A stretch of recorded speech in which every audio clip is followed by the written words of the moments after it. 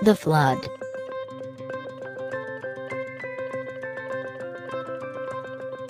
A great many years after Cain killed Abel, over a thousand perhaps, the people had grown to be so very wicked that God made up his mind to destroy them by a great flood.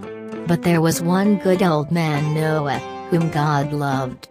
So he had him build a huge boat or ark and told him to put into it all his own family, and two of every kind of animal on the earth. As soon as Noah had done this, the rain began to fall. It kept on raining for 40 days and 40 nights until everything was covered by the water, even the highest mountains. Nothing was saved except what was in the ark.